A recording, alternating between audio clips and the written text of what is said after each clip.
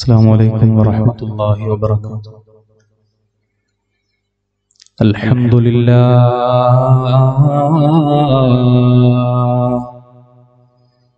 الحمد لله رب العالمين الصلاة والسلام على رسول الأمين وعلى آله وصحبه أجمعين. دعواهم فيها سبحانك اللهم وتحيتهم سلام. والحمد لله رب العالمين.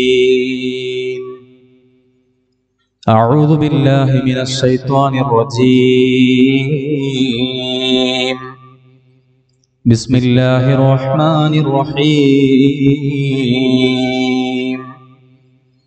يا أيها الذين آمنوا قوا أنفسكم قوا أنفسكم وأهليكم نارا وقودها الناس والحجارة. عليها ملائكة غلاظ شداد وقال نبينا محمد صلى الله عليه وسلم الجنة تحت أقدام الأمهات പരിശുദ്ധ നബിയുന മുഹമ്മദ് മുസ്തഫ الأم مدرسة إذا أعددتها الأم مدرسة إذا أعددتها أعددت شيبا طيب العراق. واعلموا أمة محمد صلى الله عليه وسلم. പടിവാതിലെത്തി നിൽക്കും റമളാൻ പടച്ചവനേകിയ വിശുദ്ധ റമളാൻ പടത്തുകൾക്കേറെ നന്മകൾ നൽകി റമളാൻ പതിയെ വിട ചൊല്ലി പോകും റമളാൻ കൽബിൽ ഈമാനിൻ വിശുദ്ധി നൽകി. രാവും പകലും ഈപാദത്തേകി കാരുണ്യം പൊഴിഞ്ഞ ദിനം പോയിടലായി. കണ്ട് കൊതി തീരും മുമ്പ് നീങ്ങിടലായി.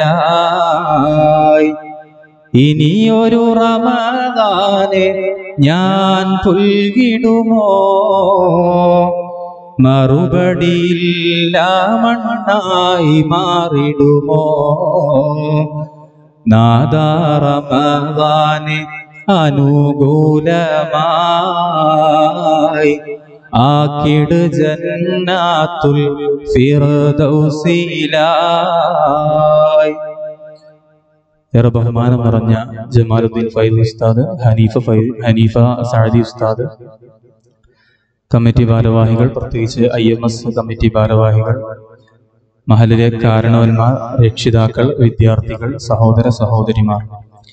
അള്ളാഹു റബുൽ ഇസത്ത് നമ്മുടെ ഈ കൂടലും പിരിയലും നമ്മിൽ നിന്ന് സ്വാലിഹായ സൽക്കർമ്മമായി സ്വീകരിക്കട്ടെ.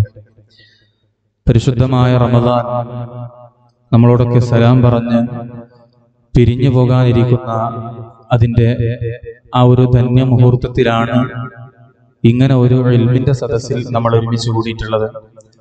അള്ളാഹു റബുൽ ഇസത്ത് നമ്മിൽ ഒന്ന് സ്വീകരിക്കട്ടെ. നമ്മുടെ ദോഷങ്ങളൊക്കെ അള്ളാഹു താല പുറത്തു മാഫാക്കി തരട്ടെ. അള്ളാഹു ഈ വിശുദ്ധമായ റമദാനിനെ ജീവിതം കൊണ്ടും കർമ്മം കൊണ്ടും ധന്യമാക്കാനും അതിന്റെ പ്രയോജനത്തിന്റെ ഫലം നാളെ ആഹ്ര ലോകത്ത് നമുക്ക് നേടിയെടുക്കാനും അള്ളാഹു നമ്മെ അനുഗ്രഹിക്കട്ടെ. ഈ പരിശുദ്ധമായ റമദാൻ അനുകൂലമാക്കി. അള്ളാഹുവിന്റെ മുമ്പിൽ സാക്ഷി പറയുന്ന വിജയികളെ കൂട്ടത്തിൽ അള്ളാഹു നമ്മെ ഉൾപ്പെടുത്തട്ടെ. ഒരിക്കലും തന്നെ റമദാൻ പ്രതികൂലമായി നമുക്കെതിരിൽ സാക്ഷി പറയുന്ന ഒരു വിഭാഗത്തിൽ പെടാതെ രക്ഷപ്പെടാൻ അള്ളാഹു നമുക്ക് തൗഫീക്ക് നൽകട്ടെ. ആമീൻ യാ റബ്ബൽ ആലമീൻ. ബഹുമാനികളെ ഈ പരിപാടിയുടെ ഉദ്ദേശ ലക്ഷ്യങ്ങളെ കുറിച്ച് കൃത്യമായി നിങ്ങളോട് സൂചിപ്പിച്ചു. അരമണിക്കൂർ സമയമാണ് എനിക്ക് അനുവദിച്ചു തന്നിട്ടുള്ളത്. അതുകൊണ്ട് തന്നെ സമയത്തിന്റെ ഉള്ളിൽ നിന്ന് വളരെ പ്രധാനപ്പെട്ട വളരെ ചിന്തനീയമായ ചില കാര്യങ്ങളെ നമുക്ക് ചർച്ച ചെയ്യാം എന്നുള്ളതാണ് ഉദ്ദേശിക്കുന്നത്. റമദാൻ അവസാനിക്കുമ്പോൾ സ്വാഭാവികമായി നമ്മൾ ചിന്തിക്കേണ്ട അല്ലെങ്കിൽ നമ്മൾ ഉണർന്നു പ്രവർത്തിക്കേണ്ട ഒരു പ്രധാനപ്പെട്ട വളരെ അസുലഭ ഒരു മുഹൂർത്തത്തിലാണ് നമ്മൾ എന്നുള്ളത് കാരണം നാളെ ഒരു പക്ഷേ പകൽ നാളത്തെ സമയം ഈ സമയത്ത് പെരുന്നാളിന്റെ തിരക്കിലായിരിക്കും നമ്മൾ. റമദാൻ മുപ്പത് ഈ വർഷം ലഭിക്കുമോ ഇല്ലേ എന്ന് പലർക്കും സംശയമാണ്. ആയതുകൊണ്ട് ഇന്നത്തെ ദിവസം റമദാനിന്റെ അവസാനത്തെ ദിവസമാണ്. നമ്മുടെ അമലുകളൊക്കെ പൂർണമായി അള്ളാഹുലേക്ക് സമർപ്പിച്ച് പ്രാർത്ഥന ചെയ്ത് പ്രാർത്ഥനയ്ക്ക് വേണ്ടി അള്ളാഹുവിനോട് ഒരു പ്രത്യേകമായ സമയം ഇന്നത്തെ ദിവസം നമ്മൾ കണ്ടെത്തണം. അള്ളാഹു തോഫീക്ക് നൽകട്ടെ. ഒമിനിങ്ങളെ ഇന്ന് നമ്മൾ ഇവിടെ ഒരുമിച്ച് കൂടിയതിന്റെ പ്രധാനപ്പെട്ട ലക്ഷ്യം റമദാൻ അവസാനിക്കുമ്പോൾ ഒരുപാട് അള്ളാഹുലേക്ക് സമർപ്പണങ്ങളും ഒരുപാട് ആവശ്യ നേട്ടങ്ങളും അതിലുപരി റമദാൻ അവസാനിച്ചു പോകുമ്പോൾ എന്തുകൊണ്ടും വളരെ പുണ്യം നൽകപ്പെടുന്ന ഒരു ഇൽമിന്റെ സദസ്സിൽ വന്നിരിക്കുക എന്ന ഒരു ലക്ഷ്യത്തിലാണ് നമ്മൾ ഇന്നിവിടെ ചേർന്നിട്ടുള്ളത്. അള്ളാഹു സുബാനു താല ഇതിന്റെയൊക്കെ പുണ്യം നമ്മുടെ ജീവിതത്തിലും നാളെ പരലോകത്തും അള്ളാഹു നമുക്കൊക്കെ നൽകി അനുഗ്രഹിക്കട്ടെ. ബഹുമാനികളെ ഹബീബായ നബി സല്ലല്ലാഹു അലൈഹി വസല്ലമ തങ്ങളുടെ മുമ്പിലേക്ക് ഒരു പിതാവ് വാർദ്ധക്യം ബാധിച്ച ഒരു പിതാവ് കരഞ്ഞുകൊണ്ട് ഓടി വരികയാണ്.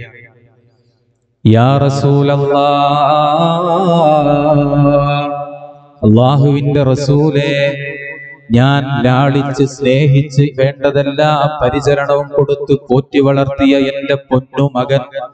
എന്നെ അടിച്ചു നബിയേ. എന്ന പരാതിയുമായി വളരെ വെപ്രാളത്തോടുകൂടെ പുണ്യനബി മുഹമ്മദ് മുസ്തഫ സൊല്ലാഹു അലൈഹി വസല്ലമ തങ്ങളുടെ മുമ്പിലേക്ക് ഒരു പരാതിയുമായി ഒരു പിതാവ് കടന്നു വരികയാണ് തങ്ങൾ ചോദിച്ചു? എന്താണ് പ്രശ്നം? എന്താണ് കാരണം? ഉടനെ തന്നെ സ്വഹാബത്തിനെ പറഞ്ഞയച്ചു ആ മകനെ കൊണ്ടുവരാൻ ഹാജരാക്കാൻ. സ്വഹാബത്ത് അദ്ദേഹത്തെ നബി തങ്ങളുടെ മുമ്പിലെത്തിച്ചു. നബി തങ്ങൾ ചോദിക്കുകയാണ് അല്ലയോ പൊന്നുമോനെ നിന്റെ പിതാവിന് നീ കയ്യേറ്റം ചെയ്തുവോടാ? നിന്റെ പിതാവിന് നീ അടിച്ചുവോ? നിന്റെ പിതാവിന് നീ കയ്യേറ്റം ചെയ്തോ? എന്താണ് അതിനുണ്ടായ കാരണം? ആ ഒരു മോശം പ്രവൃത്തിയിലേക്ക് നിന്നെ പ്രേരിപ്പിച്ചതെന്താ? ആ മകൻ മറുപടി പറയുകയാണ്. നബിതങ്ങളുടെ മുമ്പിൽ കൃത്യമായി സത്യസന്ധമായി മറുപടി പറയുകയാണ്. എന്റെ ഉപ്പ എന്റെ പിതാവ് ഞങ്ങൾ തമ്മിൽ ഒരു ക്ലാഷ് ഉണ്ടാവാൻ കാരണം ഞങ്ങൾ തമ്മിൽ ഒരു കശപിശ ഉണ്ടാവാൻ കാരണം ഞങ്ങൾ തമ്മിൽ ഒരു അടിയുണ്ടാവാൻ കാരണം നബിയേ എന്റെ സമ്പത്ത് എന്റെ അനുവാദമില്ലാതെ എന്റെ പിതാവ് എടുത്ത് ഉപയോഗിച്ചതാണ്. എന്റെ സമ്പത്ത് എന്റെ പിതാവ് അടിച്ചു മാറ്റി നബിയെ ഇതാണ് ഞങ്ങൾ തമ്മിൽ ഒരു പ്രശ്നമുണ്ടാവാൻ കാരണമെന്ന് ഒരു മകൻ നബി തങ്ങളുടെ മുമ്പിൽ പറഞ്ഞപ്പോഴാണ് ഹബീബായ പുണ്യ നബി തങ്ങളുടെ മുഖം വിവർണമാകുന്നത് നബി തങ്ങളുടെ മുഖവും കണ്ണുമെല്ലാം ചുവന്നു തുടുക്കാൻ തുടങ്ങി. ഇഹ്മറത്ത് ഐനാ. നബി തങ്ങളുടെ മുഖം ആകെ വിവർണമായി എന്നിട്ട് നബി തങ്ങൾ വളരെ ഗൗരവത്തോടുകൂടെ വളരെ ഉച്ചയ സ്വരത്തിൽ വളരെ ശകാരഭാവത്തിൽ പറയുകയാണ് നീയും നിന്റെ സമ്പത്തും നിന്റെ പിതാവിനുള്ളതാണടോ. നിന്റെ സമ്പത്തും നിന്റെ ശരീരവും അത് നിന്റെ പിതാവിനുള്ളതാണ്. നിന്റെ മാൽ നിന്റെ സമ്പത്ത് നിന്റെ ശരീരം ഇതെല്ലാം ഇവിടെ സംവിധാനിക്കപ്പെടാൻ വളരെ പ്രധാനപ്പെട്ട ഒരു കാരണമാണ് നിന്റെ പിതാവ്. അതുകൊണ്ട് നിന്റെ പിതാവിനെ നീ അടിച്ചത് ഒരിക്കലും ശരിയായില്ല എന്ന് മാനവലോകത്തിന്റെ വിമോചകൻ നബി മുഹമ്മദ് മുസ്തഫ. ഇത് പറയാനുണ്ടായ കാരണം മുഅ്മിനീങ്ങളെ നമ്മുടെ കുടുംബ ബന്ധങ്ങൾ ഒരു പിതാവും മകനുമായുള്ള ബന്ധം ഒരു മാതാവും മക്കളുമായുള്ള ബന്ധം ഇന്ന് ശിഥിരമായി കൊണ്ടിരിക്കുകയാണ്. വളരെ മോശമായി കൊണ്ടിരിക്കുന്ന ഗൃഹാന്തരീക്ഷങ്ങൾ ഇന്ന് വളരെ വ്യാപകമാണ്. നമ്മുടെ കുടുംബങ്ങളിലും നമ്മുടെ മക്കളിലും നമ്മുടെ വീട്ടിലുമൊക്കെ സ്നേഹം കളിയാടേണ്ടിടത്ത് ഇന്ന് വളരെ ഗൗരവത്തിൽ മക്കൾ പരസ്പരം ദേഷ്യപ്പെടുന്ന മക്കൾ വളരെ മോശമായി പെരുമാറുന്ന മക്കൾ ബഹുമാനമില്ലാതെ പെരുമാറുന്ന ഇന്ന് ആ ഒരു സാഹചര്യത്തിലേക്ക് നമ്മുടെ സമുദായം നീങ്ങിക്കൊണ്ടിരിക്കുമ്പോ ഇതിനെക്കുറിച്ച് പറയൽ വളരെ അനിവാര്യമാണ് എന്ന ബോധ്യമുള്ളത് കൊണ്ടാണ് ഇന്ന് ഇതുമായി ബന്ധപ്പെട്ട വളരെ പ്രധാനപ്പെട്ട ചില കാര്യങ്ങൾ നിങ്ങളോട് സംസാരിക്കാം എന്ന് തീരുമാനിച്ചു ഇന്നിതാണ് കേൾക്കാൻ കഴിയുന്നതൊക്കെ ഇതാണ്. ഉപ്പാന മകൾ മകൻ അടിച്ചു ഉപ്പയുമായി മക്കൾ വാക്കുതർക്കമുണ്ടായി. വീട്ടിൽ മക്കൾ പിതാവുമായി മാതാവുമായി തെറ്റ് നടക്കുന്നു. ഉപ്പാനെ കല്ലെടുത്തെറിഞ്ഞു. ഇതൊക്കെയാണ് എവിടെ നിന്നും കേൾക്കുന്ന വർത്തമാനം.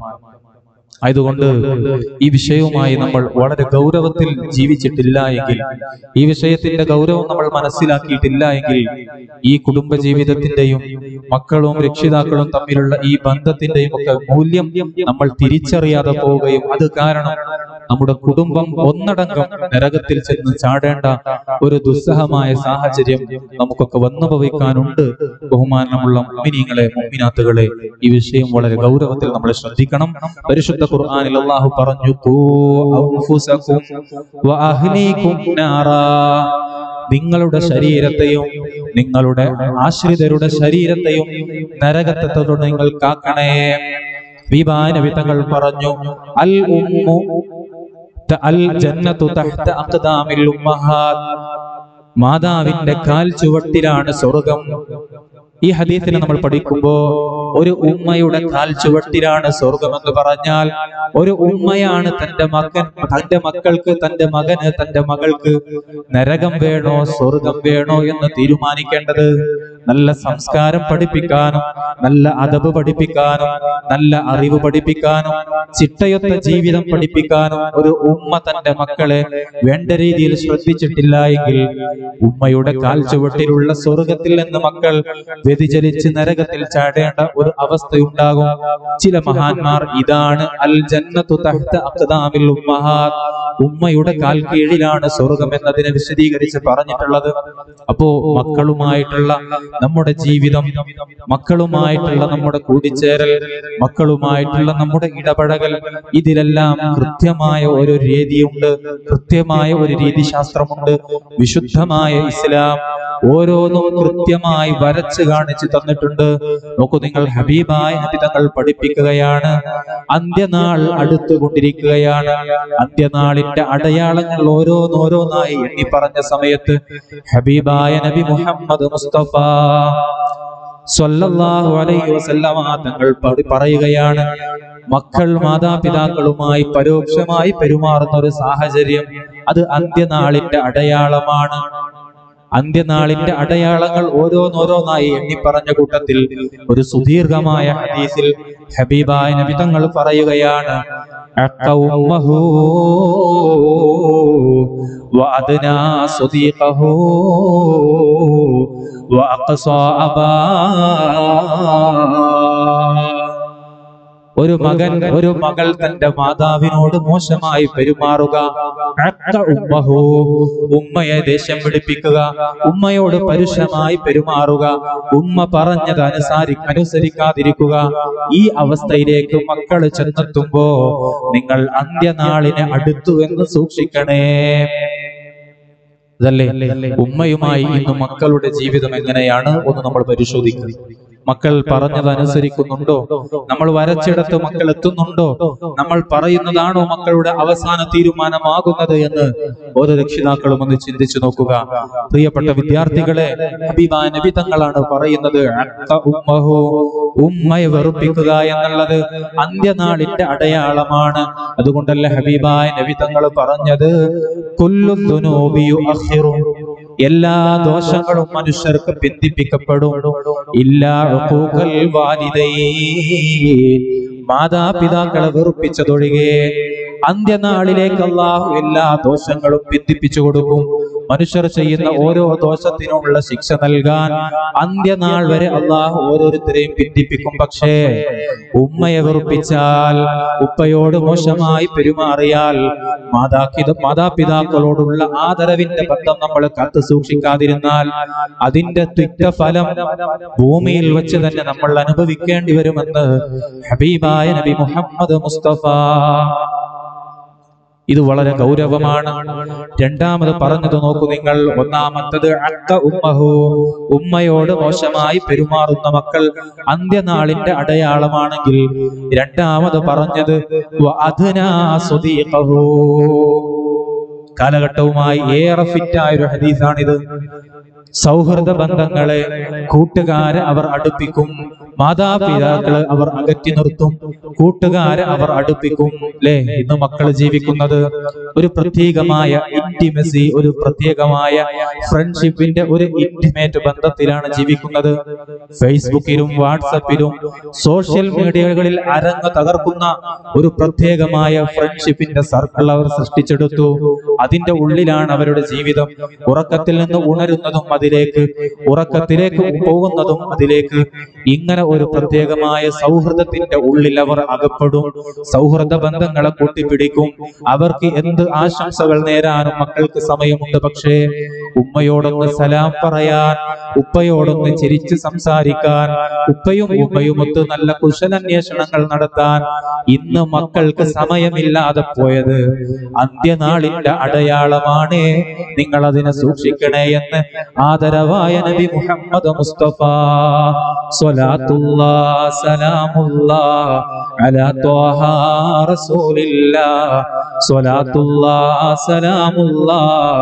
അലാ യാസീൻ ഹബീബില്ലാ. അവസാനമായി പറഞ്ഞത് ഓരോ രക്ഷിതാക്കളും ഓരോ മക്കളും വളരെ ഗൗരവത്തിൽ നോക്കണേ. വഅഖ്സാ വഅഖ്സാ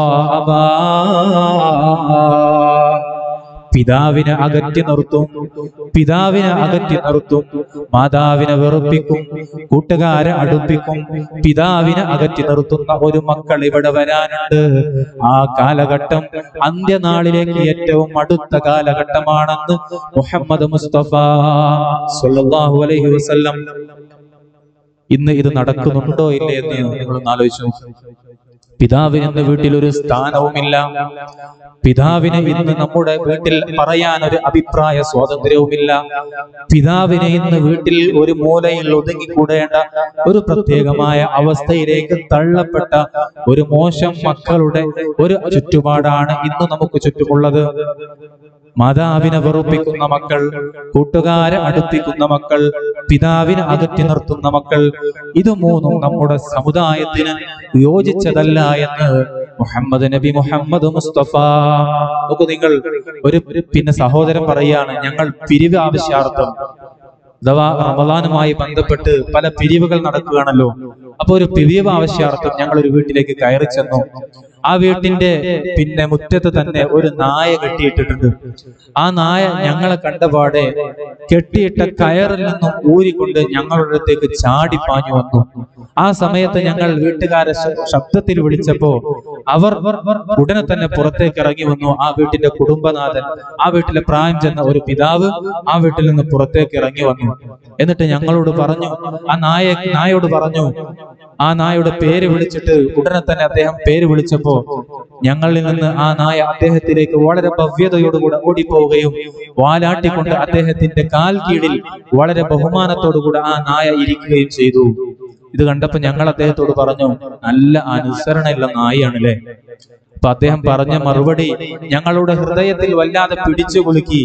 ഈ നായക്ക് മാത്രമേ ഇപ്പൊ എന്നെ ഒരു വിലയുള്ളൂ ഈ വീട്ടിൽ. ഞാൻ പറയുന്നത് ഈ നായ മാത്രമേ അനുസരിക്കുന്നുള്ളൂ എന്ന് അദ്ദേഹം പറഞ്ഞുവെങ്കിൽ ഇന്ന് നമ്മുടെയൊക്കെ ഗൃഹാന്തരീക്ഷങ്ങളിൽ നമ്മുടെയൊക്കെ പിതാക്കന്മാർക്ക് നമ്മുടെയൊക്കെ ഉപ്പമാർക്ക് നമ്മുടെയൊക്കെ വാപ്പമാർക്ക് ഇന്ന് നമ്മുടെ വീട്ടിൽ ഇത്തരത്തിലുള്ള ഒരു അവസ്ഥയാണോ ഇത്തരത്തിലുള്ള ഒരു കയ്പ് രുചിയാണോ അവർ അനുഭവിക്കുന്നത് എന്ന് പ്രിയപ്പെട്ട മക്കളെ നമ്മളൊന്ന് ചിന്തിക്കണം. അള്ളാഹു നമ്മളെ കാത്തുരക്ഷിക്കട്ടെ. മാതാവിനോടും പിതാവിനോടും വേണ്ട രീതിയിൽ കൂറു പുലർത്താനും ബഹുമാനം പുലർത്താനുമുള്ള ഒരു തൗഫീഖ് അള്ളാഹു താല നമുക്കൊക്കെ തരട്ടെ. അവരെ ആദരിക്കാനും അവരെ ബഹുമാനിക്കാനും അള്ളാഹു നമ്മെ എല്ലാവരെയും അനുഗ്രഹിക്കട്ടെ ബഹുമാനികളെ. ഇത് ഒരു രക്ഷിതാവിനോട് മക്കൾ ചെയ്യേണ്ട ഒരു രക്ഷിതാവിനോട് മക്കൾ കാണിക്കേണ്ട ആദരവിന്റെ സൂചകമായി ഹബീബാ നബി തങ്ങൾ പഠിപ്പിച്ച ഹദീസാണ്. എന്നാൽ ഒരു രക്ഷിതാവ് എന്ന നിലയിൽ നമ്മൾ ശ്രദ്ധിക്കേണ്ട വളരെ ഗൗരവമായ ചില പാഠങ്ങളുണ്ട്. മക്കളുടെ മുമ്പിൽ ഒരു രക്ഷിതാവ് ഒരു നല്ല രക്ഷിതാവ് ജീവിക്കാനുള്ള ഒരു അവസ്ഥയിലേക്ക് നമുക്ക് മാറാൻ കഴിയണം. നേരെ മറിച്ച് മക്കളെ അതവ് പഠിപ്പിക്കാന്ന് പറഞ്ഞ രാവിലെ നേരം വെളുത്തേക്ക് മകനെ വിളിച്ചുണർത്തിയിട്ട് ആ ഉപ്പയെ ബഹുമാനിക്കണം പറ പത്ത് വട്ടം പറയും ഉപ്പയെ ബഹുമാനിക്കണം ഉപ്പയെ ബഹുമാനിക്കണം. ആ പറഞ്ഞോ ആ ഇന്നത്തെ കഴിഞ്ഞു ഇനി നാളെ വാ. നാളെ നേരം വെളുത്തിട്ട് ആ ഉപ്പയെ ബഹുമാനിക്കണം ഉമ്മയോട് ദേഷ്യപ്പെടരുത്. ഇങ്ങനെയല്ല മക്കൾക്ക് നമ്മൾ അതവ് പഠിപ്പിച്ചു കൊടുക്കേണ്ടത് നമ്മുടെ ജീവിതത്തിൽ നമ്മുടെ പെരുമാറ്റത്തിൽ നമ്മുടെ സ്വഭാവത്തിൽ മക്കൾക്ക് തന്നെ തോന്നണം. ഇതെന്റെ ഉപ്പയാണ്. ഇത് എന്റെ ഉമ്മയാണ്. അവരോട് ഞാൻ ബഹുമാനം കാണിക്കണം. അവരോട് ഞാൻ ആദരവ് പുലർത്തണം. എന്റെ ജീവിതത്തിൽ നന്മയുടെ പാഠങ്ങൾ ഞാൻ ഉപ്പയിൽ നിന്ന് പകർത്തിയെടുക്കണം. എന്റെ ജീവിതത്തിൽ വിലപ്പെട്ട അമൂല്യമായ ഇൽമിന്റെ ശേഖരങ്ങൾ ഉമ്മയിൽ നിന്ന് ഞാൻ ഒപ്പിയെടുക്കണമെന്ന് ഓരോ മക്കളും ചിന്തിക്കുന്ന അവസ്ഥയിലേക്ക് ഒരു രക്ഷിതാവ് എന്ന നിലയിൽ നമ്മൾ ഉയരുമ്പോഴാണ് കുടുംബ ജീവിതത്തിന്റെ രക്ഷിതാവ് എന്ന പദവി നമ്മൾ കൃത്യമായി നിർവഹിച്ചിട്ടുള്ളത് അല്ല എങ്കിൽ മക്കൾ തിരിച്ച് രക്ഷിതാക്കളോട് പരുഷമായി പെരുമാറിയതിന്റെ പരാതി നമ്മൾ ആരോടും പറഞ്ഞിട്ടും ബോധ്യപ്പെട്ടിട്ടും കരഞ്ഞിട്ടും യാതൊരു കാര്യവുമില്ല. ആയതുകൊണ്ട് പ്രിയമുള്ള രക്ഷിതാക്കളെ മാതാപിതാക്കൾ എന്ന രീതിയിൽ മക്കളോട് നമ്മൾ ഒരു റോൾ മോഡലായി മാറണം. ഒരു മദ്രസയിലെ സദർ ഉസ്താദ് കുട്ടികളെ വിളിച്ചിട്ട് ഒരു കടലാസ് കൊടുത്തിട്ട് പറഞ്ഞു നിങ്ങളുടെ റോൾ മോഡൽ ആരാണ് എന്ന് നിങ്ങൾ ഈ കടലാസിൽ എഴുതി തരണം. കുട്ടികളൊക്കെ വളരെ ആവേശത്തിൽ കടലാസ് വാങ്ങി റോൾ മോഡലൊക്കെ എഴുതി കൊടുത്തു. ഉസ്താദ് ഈ കടലാസ് വാങ്ങിയിട്ട് നോക്കുകയാണ്. ഉസ്താദ് ഇങ്ങനെ ഓരോന്ന് മറിച്ചു നോക്കി. പക്ഷേ വലിയ സങ്കടം ഉസ്താദിന്. എന്താ അറിയോ? മദ്രസയിൽ ഒരു ഉസ്താദിന്റെ പേരും കുട്ടികൾ എഴുതിയിട്ടില്ല. പിന്നെ ഉസ്താദ് നോക്കണം വീണ്ടും മറിച്ചു നോക്കി. കുട്ടികളെ രക്ഷിതാക്കളെ പേരെങ്കിലും എഴുതിയിട്ടുണ്ടോ? നോക്കിയപ്പോ അതുമില്ല. പിന്നെ കുട്ടികളെ എഴുതിയത് എന്തറിയോ സച്ചിൻ ടെണ്ടുൽക്കർ ഷാറുഖ് ഖാൻ ഐശ്വര്യ റോയ്. ഇതൊക്കെയാണ് കുട്ടികൾ എഴുതിയിട്ടുള്ളത്. ജീവിതത്തിൽ ഒരു മുട്ടു സൂചിയുടെ പോലും പ്രതിഫലവും ഉപകാരവും അവരിൽ നിന്ന് ലഭിച്ചിട്ടില്ല എന്ന പൂർണമായ ബോധ്യം മക്കൾക്ക് ഉണ്ടായിരുന്നിട്ട് പോലും അവരുടെ റോൾ മോഡലായി അവർ സ്വീകരിച്ചത് പല മോഡലുകളെയാണ് എങ്കിൽ നമ്മൾ അവർക്ക് എന്തുകൊണ്ട് റോൾ മോഡലായി മാറിയിട്ടില്ല? നമുക്ക് എന്തുകൊണ്ട് ഇനിയും അതിന് സാധിച്ചിട്ടില്ല എന്ന് ഓരോ രക്ഷിതാക്കളും വളരെ ഗൗരവത്തോടു കൂടെ ആലോചിക്കണം. പ്രിയപ്പെട്ട കുട്ടികളെ നിങ്ങളോട് പറയാനുള്ളത് പ്രിയപ്പെട്ട വിദ്യാർത്ഥികളോട് പറയാനുള്ളത് നിങ്ങൾ ഈ ലോകത്ത് ഏറ്റവും സുന്ദരിയായി കാണേണ്ടത്. ഈ ലോകത്തെ ഏറ്റവും സൗന്ദര്യമുള്ള സ്ത്രീയായി നിങ്ങൾ കാണേണ്ടത്. ഈ ലോകത്തെ ഏറ്റവും വാത്സല്യനിധിയായ ഒരു സ്ത്രീയായി നിങ്ങൾ കാണേണ്ടത്. നിങ്ങളെ പത്തു മാസം നിങ്ങളെ കുറിച്ച് മാത്രം ചിന്തിച്ച നിങ്ങളുടെ ഉമ്മയാണ് പത്തു മാസം അവരുടെ ഊണും അവരുടെ ഉറക്കവും അവരുടെ കിടത്തവും അവരുടെ നടത്തവും അവരുടെ പെരുമാറ്റവും എല്ലാം വയറ്റിൽ വളരുന്ന നിങ്ങൾക്ക് വേണ്ടി ആയിരുന്നു എന്നുള്ള ഒരു ഗൗരവമേറിയ പാഠം ലോകത്തെ അതീവ സുന്ദരിയായ നിങ്ങളുടെ ഉമ്മയെ കുറിച്ച് ചിന്തിക്കാൻ നിങ്ങൾ മറന്നു പോകരുത് ഒരു പക്ഷേ ഈ ഒരു ചിന്തയിൽ നിന്ന് മറ്റു സ്ത്രീകളിലേക്ക് നമ്മുടെ കുട്ടികൾ കൗമാരക്കാരായ കുട്ടികളുടെ മനസ്സ് പോകുമ്പോഴാണ് കുടുംബ ജീവിതത്തിന്റെ നല്ല നല്ല പാഠങ്ങൾ പൊളിച്ചെഴുതപ്പെടുന്നത് എന്ന ഗൗരവമായ പാഠം വിദ്യാർത്ഥികൾ വളർന്നു വരുന്ന യുവാക്കൾ മനസ്സിലാക്കണം. എന്നതുപോലെ തന്നെ ജീവിതത്തിൽ ഏറ്റവും സുന്ദരനായ മനുഷ്യൻ ജീവിതത്തിൽ ഏറ്റവും ഉന്നതനായ മനുഷ്യൻ നിങ്ങളുടെ റോൾ മോഡലായി നിങ്ങൾ സ്വീകരിക്കേണ്ടത് നിങ്ങളുടെ ഉപ്പയാണ്. പടുത്ത്. രണ്ട് ദിവസം മുമ്പ് എന്നോട് രക്ഷിതാവ് പറഞ്ഞു സ്ഥാതെ എന്റെ സമ്പത്തിന്റെ തൊണ്ണൂറ് ശതമാനവും ഞാൻ എന്റെ മക്കളുടെ ആവശ്യത്തിന് വേണ്ടിയിട്ടാണ് ഉപയോഗപ്പെടുത്തുന്നത്. അതാണ് പ്രിയപ്പെട്ട ഉപ്പ. അല്ലെ? നമ്മുടെ പിതാവ് ഒരു കുട്ടി ജനിച്ചത് മുതൽ പിതാവിന്റെ എല്ലാ സ്വപ്നങ്ങളും ആവശ്യങ്ങളും ആഗ്രഹങ്ങളെല്ലാം ഒരു പെട്ടിയിലാക്കി അട്ടത്തെടുത്ത് പാത്തു വെക്കുകയാണ്. പിന്നെ കുട്ടിക്ക് വേണ്ടിയാണ് ഒരു പിതാവ് ജീവിക്കുന്നത്. തന്റെ മകനെ വളർത്തിക്കൊണ്ടുവരാൻ അവന്റെ വിദ്യാഭ്യാസം അവന്റെ വസ്ത്രം അവന്റെ ആരോഗ്യം എന്ന രീതിയിൽ ചിന്തിക്കാൻ ഒരു രക്ഷിതാവ് തന്റെ എല്ലാം മറന്നുകൊണ്ട് ഒരു കുട്ടിക്ക് വേണ്ടി നമുക്ക് വേണ്ടി വളർന്നു വരുന്ന പ്രിയപ്പെട്ട വിദ്യാർത്ഥികളെ നിങ്ങൾക്ക് വേണ്ടി മാറ്റിവെക്കുമ്പോ ആ പിതാവിനെയാണ് നിങ്ങൾ റോൾ മോഡലായി സ്വീകരിക്കേണ്ടത്. ആ പിതാ പിതാവാണ് നിങ്ങളുടെ ഇഷ്ടഭാചനമാവേണ്ടത് ആയതുകൊണ്ട് പ്രിയമുള്ള വിദ്യാർത്ഥികൾ ഈ ഒരു ഗൗരവമായ പാഠം നിങ്ങൾ മനസ്സിലാക്കണം. അതുകൊണ്ട് രക്ഷിതാക്കളോട് മാതാപിതാക്കളോട് വളരെ സ്നേഹത്തിൽ പെരുമാറാനും അവരെ സ്നേഹിക്കാനും അവരോട് നല്ല രീതിയിൽ കളിവർത്തമാനങ്ങൾ പറയാനും കൊച്ചു സംസാരങ്ങൾ നടത്താനും ഇനിയും നമുക്ക് എത്ര പ്രായമായാലും നമുക്കതിനുള്ള സമയമുണ്ട്. ഞാൻ ഓർത്തു പോവാണ്. പിന്നെ നമ്മളെ അനീഫാക്ക. നമ്മളെ അനീഫാക്ക ഇവിടെ ഉണ്ടോ ഇല്ലെന്ന് അറിയില്ല. ഞാൻ ഭക്ഷണം കഴിക്കാൻ സമയമാകുമ്പോ പിന്നെ മൂപ്പരെ വിളിക്കും ഭക്ഷണം കഴിക്കാൻ. പലരെയും വിളിക്കാറുണ്ട്. ആ സമയത്ത് മൂപ്പരെ വിളിക്കുമ്പോ മൂപ്പര് പലപ്പോഴും എന്നോട് പറയുന്ന മറുപടി എന്താ അറിയോ? വീട്ടിൽ ഉമ്മ എന്നെ കാത്തു നിൽക്കും. ഇപ്പൊ ഞാൻ ആദ്യം വിചാരിച്ചത് ഒരു ഫോർമാലിറ്റി ഇവർ പറയുന്നതാണ് പക്ഷെ എപ്പോ വിളിച്ചാലും മൂപ്പര് എന്നോട് ഇതാ പറയാ ജസ്റ്റ് ഞാൻ വീട്ടിൽ പോവാണ് കാരണം വീട്ടിൽ ഉമ്മ എന്നെ കാത്തു നിൽക്കുന്നുണ്ട്. അപ്പൊ ഞാൻ ചോദിച്ചു അല്ല അനീഫാക്ക നിങ്ങളിത് വെറുതെ പറയുകയാണോ നിങ്ങൾ വരി നമുക്ക് ഭക്ഷണം കഴിക്കാലോ ഭക്ഷണം ഉണ്ടല്ലോ പറയുമ്പോ ഉപ്പര് പറയും അല്ല ഉസ്താദെ എനിക്കൊരു വയസ്സാകുമ്പോ എന്റെ ഉപ്പ മരിച്ചിട്ടുണ്ട്. അന്നു മുതൽ ഇന്നേ വരെ എന്റെ എല്ലാ കാര്യങ്ങളും നോക്കി നടത്തിയത് എന്റെ ഉമ്മയാണ്. ആയതുകൊണ്ട് ഉമ്മ ഞാൻ പോകുന്നത് വരെ എത്ര സമയമായാലും ഭക്ഷണം കഴിക്കാൻ കാ- കാ- കഴിക്കാതെ എന്നെയും കാത്തു നിൽക്കും. അതുകൊണ്ട് എനിക്ക് പോയേ പറ്റൂ എന്ന് അദ്ദേഹം പറയുമ്പോ ഞാൻ ഓർത്തു പോവാണ്. ഒരു അൻപതും അൻപത്തഞ്ചും വയസ്സായ ഒരാൾ. ഇന്നും ഉമ്മയുടെ കൂടെ ഭക്ഷണം കഴിക്കാന്ന് പറയുമ്പോൾ ഇത്ര ഉന്നതമായ ഒരു അന്തരീക്ഷമാണ്. ഇതാണ് നമ്മൾ പഠിപ്പിച്ചു കൊടുക്കേണ്ടത് മക്കൾക്ക്. മക്കൾ അവിടെ പഠിക്കുകയാണ്. പാഠം ഒന്ന് ഉപ്പ ഉമ്മയുമായിട്ട് വല്യമ്മയുമായിട്ട് ഭക്ഷണം കഴിക്കുള്ളൂ എന്ന് നമ്മുടെ മക്കൾ നമ്മുടെ ജീവിതത്തിൽ നിന്ന് പകർത്തിയെടുക്കുകയാണ്. പാഠം രണ്ട് എത്ര സമയമായാലും വല്യുമ്മ ഉപ്പ വന്നാലേ ഭക്ഷണം കഴിക്കുള്ളൂ ഉപ്പയെ കാത്തു നിൽക്കുന്ന വല്യുമ്മയാണ് എന്നത് മക്കൾ പഠിക്കുമ്പോൾ. ഇത് അവരുടെ ജീവിതത്തിലേക്കും പകർത്തിയെടുക്കാനുള്ള ഒരു ശ്രമമാണ് മക്കൾ നടത്തുക. ഇത് ജീവിതത്തിലൂടെ നമ്മൾ മക്കൾക്ക് കാണിച്ചു കൊടുക്കേണ്ടതാ. ബാഹു പ്രായം ചെന്ന നമ്മുടെ മാതാപിതാക്കൾക്ക് ദീർഘായുസും കൊടുത്ത് അനുഗ്രഹിക്കട്ടെ. പ്രിയമുള്ള മുഅ്മിനീങ്ങളെ ഈ ഒരു വിഷയം വളരെ ഗൗരവത്തിൽ നമ്മൾ ശ്രദ്ധിക്കേണ്ടതാണ്. അള്ളാഹു തോഫിക്ക് നൽകട്ടെ. അപ്പോ മാതാപിതാക്കളോട് മക്കൾ കാണിക്കേണ്ട ഗുണപാഠങ്ങൾ അവരോട് വെച്ചു പുലർത്തേണ്ട ആദരവിന്റെ ബഹുമാനത്തിന്റെ ഉന്നതമായ പാഠങ്ങൾ പ്രിയപ്പെട്ട വളർന്നു വരുന്ന വിദ്യാർത്ഥികൾ മറന്നു പോവരുത് ജീവിതത്തിൽ പല തിരക്കുകൾക്കിടയിൽ നമ്മൾ ജീവിക്കുമ്പോഴും അവരെ പ്രത്യേകമായി അരികുവൽക്കരിച്ചുകൊണ്ടുള്ള ഒരു സംസാരവും ഒരു പെരുമാറ്റവും ഒരിക്കലും തന്നെ നമ്മുടെ ഭാഗത്ത് നിന്ന് ഉണ്ടാവരുത്. ഒരിക്കലും അത് അവർക്ക് താങ്ങാനും സഹിക്കാനും കഴിയുന്നതിനും അപ്പുറമാണ്. പറയൂല അവരാരും പറയൂല. പരാതി നമ്മളോട് ആരും പറയില്ല. പക്ഷേ വിഷമവും അവർക്ക് നീരസവും ഒക്കെ ഹൃദയത്തിലുണ്ടാവും. അതിന് നമ്മൾ കാരണമായാൽ ജീവിതത്തിൽ ഏത് ഉന്നതി നമ്മൾ എത്തിയാലും ഒരു പക്ഷേ നമ്മുടെ അധപ്പതനത്തിന് അവരുടെ ഒരൊറ്റ കണ്ണുനീർ മതിയാവും. അള്ളാഹു കാത്തു രക്ഷിക്കട്ടെ ഹബീബാ നബി തങ്ങൾ പറഞ്ഞു അള്ളാഹുവിൽ പ്രാർത്ഥനക്ക് സ്വീകാര്യമുള്ള പ്രാർത്ഥനകൾ പഠിപ്പിച്ചപ്പോ ഒരു ഉമ്മ ഒരു ഉപ്പ തന്റെ മക്കൾക്ക് വേണ്ടി അനുകൂലമായി പ്രാർത്ഥിക്കുന്ന ദുആ പ്രതികൂലമായി പ്രാർത്ഥിക്കുന്ന ദുആ. ഇത് രണ്ടും അള്ളാഹുവിൽ ഏറ്റവും സ്വീകാര്യമുള്ളതാണ് എന്ന് പറയുമ്പോൾ ഈ പ്രാർത്ഥന നന്മക്ക് വേണ്ടിയാക്കി എടുക്കാനുള്ള ഒരു ശ്രമമാണ് പ്രിയപ്പെട്ട മക്കളുടെ ഭാഗത്തു നിന്ന് ഉണ്ടാവേണ്ടത് അള്ളാഹു തോഫിക്ക് നൽകട്ടെ. പ്രിയമുള്ളവരെ അപ്പൊ നമ്മുടെ ജീവിതത്തിൽ നമ്മൾ വാർദ്ധക്യത്തിലേക്ക് ഇങ്ങനെ സഞ്ചരിച്ചുകൊണ്ടിരിക്കുമ്പോ യഥാർത്ഥത്തിൽ നമ്മൾ നമ്മുടെ യൗവനം നല്ല കളിവർത്തമാനത്തോടുകൂടെ നല്ല ജീവിത ശൈലികളിലൂടെ നല്ല സന്തോഷത്തോടുകൂടെ നല്ല സാഹചര്യങ്ങളിലൂടെ നടത്തി കൊണ്ടുപോകാൻ ശ്രമിക്കുമ്പോ നമ്മൾ ചിന്തിക്കേണ്ടത് നമ്മുടെ വാർദ്ധക്യത്തിലാണ് നമ്മൾ ഏറ്റവും കൂടുതൽ സന്തോഷം അനുഭവിക്കേണ്ടത്.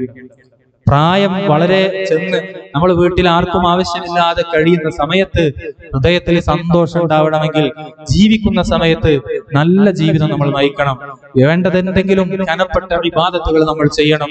നല്ല രീതിയിലുള്ള അർത്ഥപൂർണമായ ഒരു ജീവിതം നമ്മൾ നയിക്കുമ്പോൾ വാർദ്ധക്യം വന്ന് സമയ വാർദ്ധക്യം എത്തുന്ന സമയത്ത് വളരെ സന്തോഷത്തോടുകൂടെ അതൊക്കെ ഓർത്തുകൊണ്ട് ആ കഴിഞ്ഞു പോയ ജീവിതത്തിലെ അർത്ഥപൂർണമായ ആ ജീവിതത്തെ ഓർത്തുകൊണ്ട് സന്തോഷം നമ്മുടെ ഹൃദയത്തിലുണ്ടാവും. നേരെ മറിച്ച് എന്തോ ഒരു ജീവിതം നമ്മൾ നയിച്ചു പോയാൽ വാർദ്ധക്യം വരുന്ന സമയത്ത് അല്ലലും അലട്ടലും പറഞ്ഞ് പിച്ചുമ്പയും പറഞ്ഞ് വളരെ പ്രയാസപ്പെട്ടുകൊണ്ടുള്ള ഒരു നരക ജീവിതമായി ആയിരിക്കും നമ്മൾ നയിക്കുന്നത്. നേരമറിച്ച് ജീവിതത്തിന് ഒരു അർത്ഥമുണ്ടാക്കി. നമ്മുടെ ജീവിതത്തിന് ശേഷം ഇവിടെ ഒരു പുതിയ തലമുറയെ ഇസ്ലാമികമായ ചുറ്റുപാടിലൂടെ നല്ല ഒരു കുടുംബ സാഹചര്യത്തിലൂടെ വളർത്തിക്കൊണ്ടുവരാനുള്ള വിത്തും വെള്ളവും വെള്ളവും നൽകിയിട്ടാണ് നമ്മുടെ വാർദ്ധക്യത്തിലേക്ക് നമ്മൾ കടന്നുപോയതെങ്കിൽ ആ വാർദ്ധക്യത്തിൽ നമുക്ക് വലിയ സന്തോഷം ഉണ്ടാവും. ഞാൻ ചോദിക്കട്ടെ നമ്മളോട് ഏറ്റവും സന്തോഷം നിങ്ങളുടെ ജീവിതത്തിൽ ഉളവാക്കിയ ഒരു സമയം ഏതാന്ന് ചോദിച്ചാൽ ഞങ്ങൾ ഏതാ പറയാ ഏതാ പറയാ? നിങ്ങളെ ജീവിതത്തിൽ ഒരു സന്തോഷം ഉണ്ടായ എത്ര വർഷമായല്ലോ ഏറ്റവും സന്തോഷം ഉണ്ടായ സമയം ഏതാന്ന് ചോദിച്ചാൽ നിങ്ങൾ ഏത് സമയത്താണ് അനുസ്മരിക്കുക? ഏ? ആരുല്ലേ? ഒരു സന്തോഷം ഉണ്ടായിട്ടില്ല? പെരുന്നാളോ? കല്യാണം? കുട്ടികളുണ്ടായതാ? മാഷാ കുട്ടികളുണ്ടായത് വലിയൊരു സന്തോഷമാണ് അല്ലേ അല്ലേ? അപ്പോ വിവാഹ ജീവിതം എന്ന് പറഞ്ഞാൽ നമുക്ക് നല്ലൊരു തലമുറയെ വാർത്തെടുക്കാൻ വേണ്ടി ആ ഒരു പ്രത്യേകമായ ഒരു അവസ്ഥയിലേക്ക് നമ്മൾ കാലെടുത്ത് വെച്ച ആ ഒരു സുന്ദരമായ മുഹൂർത്തമാണല്ലോ വിവാഹ ജീവിതം അല്ലെ? വിവാഹ ജീവിതം ആരും പറയില്ല ചിലപ്പോ. അതൊന്നും ഇപ്പൊ ഓർമ്മപ്പെടുത്തൽ ഉസ്താദ് എന്നാ പറയല്ലേ ആണോ? കുറെ ആൾക്കാർ തല താത്തിരിക്കുകയാണ് ഒരു മനുഷ്യനെ സംബന്ധിച്ചിടത്തോളം ഏറ്റവും അവന്റെ ജീവിതത്തിൽ സന്തോഷം നിർഗളിച്ച ഒരു സമയം എന്ന് പറഞ്ഞാൽ പലർക്കും വിവാഹ ജീവിതമായിരിക്കില്ലേ എന്തായിരുന്നു അന്നത്തെ അവസ്ഥ? ഇന്ന് ചിരിയോ ചിരിയാണ്. നേരം വെളുത്താ ചിരി തുടങ്ങി വൈകുന്നേരം വരെ നോൺ സ്റ്റോപ്പ് ചിരിയാണ്. പക്ഷെ അന്ന് കരച്ചിലായിരുന്നു അല്ലെ? അന്ന് കല്യാണം പണ്ടത്തെ കല്യാണമൊക്കെ കരഞ്ഞ് കരഞ്ഞ് കരഞ്ഞ് നേരം വൈകുന്നേരം ആക്കലാണ് പക്ഷെ ഇന്ന് ചിരിച്ച് ചിരിച്ച് ചിരിച്ച് ആകട്ടെ ഇടങ്ങേറാവല അല്ലേ? ചിരിയല്ലേ ഇന്ന്? ഫോട്ടോഗ്രാഫർ വന്ന് നോക്കും ആ വരും ഒരു ഫോട്ടോ എടുക്കുക. ആ സ്മൈൽ പ്ലീസ് ചിരി. പിന്നെ അടുത്ത ആൾ വരും. അപ്പൊ പിന്നെയും ചിരിച്ച് പിന്നെ അടുത്ത ആൾ വരുമ്പോഴോ അങ്ങനെ ചിരിച്ച് ചിരിച്ച് വൈകുന്നേരം ആകുമ്പോഴത്തേന് ആകെ എന്തായിട്ടുണ്ടാവും? കുഴങ്ങിയിട്ടുണ്ടാവും. ഇതാണ് ഇന്നത്തെ കുടുംബ ജീവിതം അങ്ങനെ എത്ര ചിരിച്ചിട്ട് നമ്മളല്ലേ? അങ്ങനെ കഴിഞ്ഞു പോയ ഒരു കുടുംബ ജീവിതത്തിന്റെ പ്രഥമ ദിവസം വിവാഹ ദിവസം ഇന്ന് പലരും അത് ഓർക്കുമ്പോ അതൊന്നും ഓർക്കണ്ട എന്നുള്ളൊരു അവസ്ഥയിലാണ്. അള്ളാഹു താല നല്ല സമ്പൂർണമായ അർത്ഥതലങ്ങളിലേക്ക് ചെന്നെത്താൻ നമ്മുടെ കുടുംബ ജീവിതം കൊണ്ട് നമുക്കൊക്കെ വഴിയൊരുക്കി തരട്ടെ. പ്രിയമുള്ള മുമ്പിനിങ്ങളെ ഈ വിവാഹ ദിവസം കഴിഞ്ഞാൽ പിന്നെ നമുക്കുള്ള അത്യാവശ്യമായ കാര്യം എന്താ? വിവാഹം കഴിഞ്ഞാൽ പിന്നെ നമുക്ക് ആദ്യത്തെ ആവശ്യം എന്താ? ആ എന്താണ് പറയ? ആൽബം കിട്ടണം അല്ലെ? കല്യാണത്തിന്റെ ആൽബം കിട്ടണം. അത് കിട്ടിയ പാടെ നമ്മൾ എന്താ ചെയ്യാ? അങ്ങനെ മറിച്ചു ആ. നല്ല രസം. തിരക്കടില്ല. പിന്നെ അടുത്ത മറിച്ചു. ആ ഇതും തിരക്കടില്ല. ആരെയാണ് ഈ നോക്കണേ? നമ്മളെ തന്നെയാണ് നോക്കണേ. അല്ലേ നമ്മളെ തന്നെ നോക്കും. മറിച്ച് മറിച്ച് നോക്കും. പിന്നെ പിന്നെ ഇത് കഴിഞ്ഞാ നമ്മളെ വീട്ടിലെ ടീ പോയ്മ കൊണ്ട് വെക്കും ഈ ആൽബം. പിന്നെ വീട്ടിലേക്ക് അതിഥികൾ ആരെങ്കിലും വന്ന പോലെ കൊടുക്കുന്ന ആദ്യത്തെ ശിക്ഷ എന്താണ്? ഈ ആൽബം നോക്കലാണ്. നോക്കിക്കോളി. നോക്കിക്കണേ. നോക്കി. ഒന്നുകൂടെ നോക്കി. നീ നമ്മുടെ സന്തോഷം അവരെയും കൂടി ബോധ്യപ്പെടുത്തുന്ന ഒരു സാഹചര്യം ഉണ്ടായിരുന്നു. പിന്നെ കുറച്ച് കഴിയുമ്പോ രണ്ടു മൂന്ന് മാസം കഴിയുമ്പോ ടീപ്പോയിന്റെ മേലെന്ന് മെല്ലെ പോയിന്റ് അടിയിക്കത്തും പിന്നെ അത് അലമാറയിലെത്തും പിന്നെ ആൽബം കാണിച്ചു കൊടുക്കുന്നതും കാണുന്നതും നമുക്ക് എന്തായി? മടിയായി. ആരെങ്കിലും ആൽബം നോക്കുകയാണെങ്കിൽ നമ്മളെ ആ ഭാഗത്തുനിന്ന് മെല്ലെ സ്ഥലം വിടും. ഈ സന്തോഷം നിർഗളിച്ച ഒരു സാഹചര്യത്തിൽ നിന്ന് കുടുംബജീവിതത്തിന്റെ നാടുകൾ ഓരോന്ന് കൊഴിഞ്ഞു കൊഴിഞ്ഞു പോകുമ്പോ എന്തുകൊണ്ട് നമുക്ക് ഈ അവസാനം ഈ ഒരു സന്തോഷം ആദ്യത്തേതുപോലെ നിലനിൽക്കുന്നില്ല എന്ന ഒരു ചോദ്യം കുടുംബജീവിതത്തിലെ ഓരോ രക്ഷിതാക്കളും ഓരോ മാതാ മാതാവും പിതാവും ശ്രദ്ധിക്കേണ്ട വളരെ പ്രധാനപ്പെട്ട ഒരു കാര്യമാണ്. എന്തുകൊണ്ട് ഈ സന്തോഷമല്ല? ഇന്ന് അമേരിക്ക പോലെയുള്ള ആധുനിക രാജ്യങ്ങളിൽ മക്കൾക്ക് വിവാഹത്തിന് താല്പര്യമില്ല എന്താണ് അതിന്റെ പിന്നിലെ കാരണമെന്ന് കണക്കുകൾ പറയുന്നത് എന്താണെന്നറിയോ? ഡിവോഴ്സ്. മാതാവും പിതാവും പെട്ടെന്ന് ഒരു സുപ്രഭാതത്തിൽ ചെറിയ ചെറിയ പ്രശ്നങ്ങൾക്ക് വേണ്ടി വിവാഹമോചനം നടത്തുന്നു. പിന്നെ എന്തുകൊണ്ട് ഞങ്ങൾ ഇത്തരം ഒരു ആവശ്യത്തിലേക്ക് കടന്നു ചെല്ലണം? എന്തുകൊണ്ട് ഞങ്ങൾ വിവാഹം കഴിക്കണമെന്ന് വൈമനസ്യം കാണിക്കുന്ന മക്കൾ വളർന്നു വരുന്നു ആധുനിക ലോകത്ത് എന്ന് പഠനങ്ങൾ പറയുമ്പോൾ വിവാഹ കുടുംബം വിവാഹ ജീവിതം പെട്ടെന്ന് ശിഥിലമായി പോകുന്ന ഒരു സാഹചര്യം മക്കൾ നമുക്ക് മുമ്പേ കൺകൊണ്ട് കണ്ട് ഇതാണ് കുടുംബ ജീവിതം എന്നാൽ എനിക്കും ഇത് വേണ്ട എന്ന ഒരു രീതിയിലേക്ക് ചിന്തിക്കുന്ന ആ ഒരു അവസ്ഥയിലേക്ക് നമ്മുടെ മക്കൾ പോകുമ്പോൾ ഇവിടെ ഒരു രക്ഷിതാവ് എന്ന നിലയിൽ കുടുംബ ജീവിതത്തിന്റെ അർത്ഥതലങ്ങളിലേക്ക് ചെന്നെത്താൻ ഒരു മാതാവും ഒരു പിതാവും ശ്രദ്ധിച്ചിട്ടില്ല എന്നതാണ് കുടുംബജീവിതത്തിന്റെ അർത്ഥം ഇല്ലാതെ പോകുന്ന കുടുംബജീവിതമെല്ലാം ഒരു പാറയിൽ വീണ പഴന്നു പാത്രങ്ങളെ പോലെ തകർന്നു പോകുന്ന ഒരു സാഹചര്യം ഉണ്ടാവാൻ ഇത് ഉടലെടുക്കാൻ കാരണമെന്ന് പ്രിയപ്പെട്ട രക്ഷിതാക്കൾ മനസ്സിലാക്കണം. അതുകൊണ്ട് കുടുംബജീവിതം എന്ന് പറഞ്ഞാൽ ഇത് ഏറ്റവും സുദൃഢമായ ഒരു ബന്ധമാണ്. അള്ളാഹു നമുക്ക് നൽകിയ ഏറ്റവും വലിയ സമ്മാനമാണല്ലോ നമ്മുടെ മക്കൾ. അല്ലെ? നമുക്ക് ഈ ലോകത്ത് ഏറ്റവും പ്രിയങ്കരമായത് എന്താണെന്ന് ചോദിച്ചാൽ ഒരു മാതാവിനെ സംബന്ധിച്ചിടത്തോളം ഒരു പിതാവിനെ സംബന്ധിച്ചിടത്തോളം അത് അവരവരുടെ മക്കളായിരിക്കും. അല്ലെ? ആ മക്കളെ നല്ല രീതിയിൽ വളർത്തിക്കൊണ്ടുവന്ന് നല്ല ധാർമ്മികമായ ബോധം നൽകി നല്ല ഈമാനികമായ പിന്നെ അറിവുകൾ നൽകി ഇസ്ലാമികപരമായ ചുറ്റുപാടിൽ ജീവിക്കാനുള്ള ഒരു സാഹചര്യത്തിലൂടെ നമ്മുടെ മക്കളെ വളർത്തിക്കൊണ്ടുവരാൻ ഒരു രക്ഷിതാവിന് കഴിഞ്ഞു എന്നാൽ അവന്റെ ജീവിതം വിജയിച്ചു. മക്കളാണ് നമ്മുടെ വരദാനം അവരാണ് നമ്മുടെ വിജയവും പരാജയവും തീരുമാനിക്കുന്നത്. നമ്മൾ രക്ഷിതാക്കൾ മക്കളെ തോന്നിയ രീതിയിൽ കയറൂരി വിട്ടു. നാളെ അള്ളാഹുവിന് മുമ്പിൽ വന്ന് അവർ തന്നെ നമുക്കിതിൽ സാക്ഷി പറയും പഠിച്ചോനെ.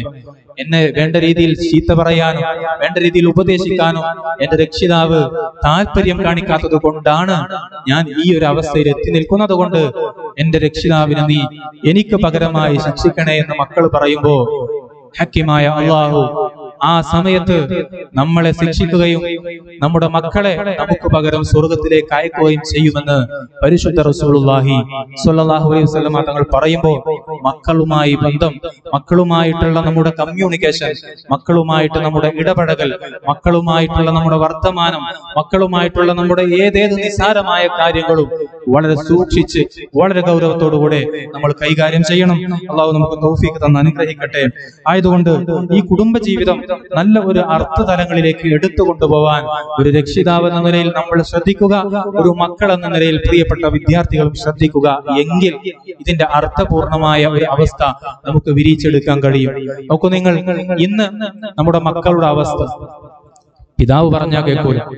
മാതാവ് പറഞ്ഞാൽ കേൾക്കൂല. അയൽവാസികൾ പറഞ്ഞാൽ കേൾക്കൂല. പ്രായം ചെന്ന ആൾക്കാർ ആളുകൾ പറഞ്ഞാൽ കേൾക്കൂല. ആരെയും ഒരു ബഹുമാനമില്ലാതെ ആരോടും ഒരു കടപ്പാടില്ലാതെ ഒരു പ്രത്യേകമായ കയറൂരി വിടപ്പെട്ട ഒരു അവസ്ഥയിലേക്ക് നമ്മുടെ മക്കൾ പോയിക്കൊണ്ടിരിക്കുന്നുണ്ട്. ഇതിനൊരു കൃത്യമായ തടുത്ത് തടയിട്ട് നിർത്തിയിട്ടില്ല എങ്കിൽ നമ്മൾ ഇതിന്റെ പിന്നിൽ വിരൽ കടിക്കേണ്ടി വരും. അള്ളാഹു കാത്തിരക്ഷിക്കട്ടെ. നമ്മുടെ മക്കൾക്കൊക്കെ സദാചാര ബോധവും അള്ളാഹുവിനെ കുറിച്ചുള്ള ഭയഭക്തിയും മാതാപിതാക്കളോടുള്ള ബഹുമാനം അള്ളാഹു മരണം വരെ നിലനിർത്തി തരട്ടെ.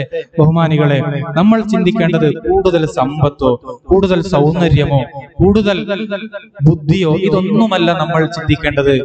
ഇപ്പോ ഒരു പ്രത്യേകമായ കരിയർ മോട്ടീവായിട്ടാണ് ഇന്നത്തെ ആധുനിക മക്കൾ വളർന്നു വരുന്നത്. നമ്മുടെ മക്കൾക്ക് നമ്മൾ പറഞ്ഞു കൊടുക്കേണ്ട അവർക്ക് നമ്മൾ പകർന്നു കൊടുക്കേണ്ട വളരെ പ്രധാനപ്പെട്ട ഒരു കാര്യമുണ്ട്. ഞാൻ കുട്ടിയോട് ചോദിക്കട്ടെ എല്ലാ വർഷവും മദ്രസയിൽ ഞാൻ ചോദിക്കുന്ന ഒരു ചോദ്യമാണ്. എന്തിനാണ് നമ്മൾ അറിവ് പഠിക്കുന്നത്? ഭൗതികപരമായിക്കോട്ടെ മതപരമായിക്കോട്ടെ എന്തിനാണ് നമ്മൾ അറിവ് പഠിക്കുന്നത്? എന്തിനാണ് വിദ്യാഭ്യാസം? ഏ? എന്തിനാ? അപ്പൊ ഇതേപോലെ തന്നെ മദ്രസിൽ ഒരിക്കലും അതൊന്നും അറിയില്ല. എന്തിനാന്നൊന്നും അറിയില്ല. നേരം വെളുത്താൻ മദ്രസിലെ കുക്ക് എടുത്ത് വരും. പിന്നെ അത് കഴിഞ്ഞാൽ സ്കൂൾക്ക് ബാഗ് എടുത്തു പോകും. എന്തിനാണ് ഞാൻ പഠിക്കുന്നത് എന്ന് ചോദിച്ചാൽ പലപ്പോഴും മൗനമായിരിക്കും നമ്മുടെ സദസ്സുകളൊക്കെ വീക്ഷിക്കാറുള്ളത്. ഞാൻ ചോദിക്കട്ടെ മാർക്ക് വാങ്ങാനല്ലേ? അല്ലേ? മാർക്ക് വാങ്ങാനല്ലേ? അല്ലേ? മാർക്ക് വാങ്ങാൻ. എന്തിനാ മാർക്ക് വാങ്ങണത്?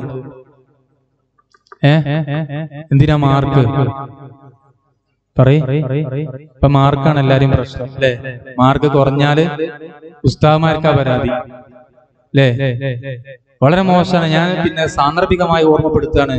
ഇന്ന് നമ്മൾ ചിന്തിക്കേണ്ടത് മക്കൾക്ക് ഉന്നതമായ മാർക്ക് കിട്ടിയില്ല എന്നതാണ് നമ്മുടെ പരാതി. മകൻ എന്തു പഠിച്ചു? അവൻ നിസ്കരിക്കുന്നുണ്ടോ? പഠിച്ചത് അവന്റെ ജീവിതത്തിൽ പകർത്തുന്നുണ്ടോ? ഇതൊന്നും അറിയണ്ട. പരീക്ഷയിൽ തോൽക്കുമ്പോ കുട്ടിനെ വിളിച്ചാണ്ട് വരും. അല്ലെങ്കിൽ ഉസ്താന്റെ ഫോൺ നമ്പർക്ക് ഒരു കോളാ. എന്നിട്ടോ? പറയാനുള്ളതൊക്കെ പറഞ്ഞു കഴിയും. ഇതുവരെ കുട്ടിയുമായ ഒരു പരാതിയോ അവന്റെ പഠനവുമായി ബന്ധപ്പെട്ട സംശയങ്ങളോ അവന്റെ പഠന നിലവാരത്തെ കുറിച്ച് യാതൊരു വേവലാതിയും രക്ഷിതാവില്ല പരീക്ഷയിൽ തോറ്റു എന്ന് പറയുമ്പോൾ മാത്രം വലിയ ചൂടാണ്. ഒരു സ്ഥാനം വിളിച്ച് ചീത്തറിയാം. നിങ്ങൾ പഠിപ്പിക്കലൊന്നുമില്ലേ എന്ന് ചോദിക്കുക. എന്ത് അവസ്ഥയാണ് മുഗ്മിനികളെ? എത്രമാത്രം അധപ്പതിച്ചു പോയി നമ്മൾ? വളരെ ഗൗരവത്തിൽ ശ്രദ്ധിക്കണം. നമ്മുടെ നാട്ടിലെ അവസ്ഥയെ പറയണേ വേറെ ഒട്ടിയല്ല നമ്മളെ നാട്ടിലെ അവസ്ഥ.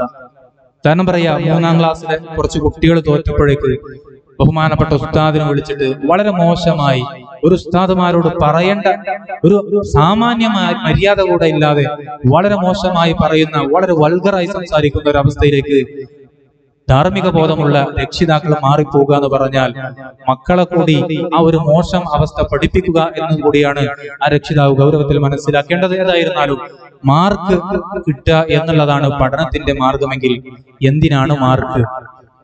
എന്തിനാ മാർക്ക് കിട്ടുന്നത്? മാർക്ക് എന്തിനാ കിട്ടുന്നത് സഹദേ മാർക്ക് എന്തിനാ? ആസിഫെ മാർക്ക് എന്തിനാ? ജോലി കിട്ടണ്ടേ? അല്ലേ? മാർക്ക് ഉണ്ടെങ്കിലല്ലേ ജോലി കിട്ടുള്ളൂ. എന്തിനാ ജോലി കിട്ടുന്നത്? ഇതിപ്പോ ഇങ്ങനെ പോയപ്പോ എവിടെക്കാ എത്തുകയെന്ന് ഞാൻ ആലോചിക്കാണ്ടേ? എന്തിനാ ജോലി? ഏ? ശമ്പളം കിട്ടാൻ എന്തിനാ ശമ്പളം? ആ ഞാൻ ഉദ്ദേശ പോയിന്റ് എത്തി ജീവിക്കാനല്ലേ? സന്തോഷമായിട്ട് ജീവിക്കാനാണ് ശമ്പളം വാങ്ങണത്. എന്തിനാ ഈ സന്തോഷമായിട്ട് ജീവിക്കുന്നത്? ഞാൻ ഇത് ചോദിച്ചപ്പോ മദ്രസയിൽ കുട്ടിയൊന്നും മരിച്ചാണ് മരിച്ചാന് അവസാനം ഇപ്പൊ ഒറ്റ എത്തുക. അപ്പൊ ആദ്യം തന്നെ പറഞ്ഞു മരിച്ചാനാണ്.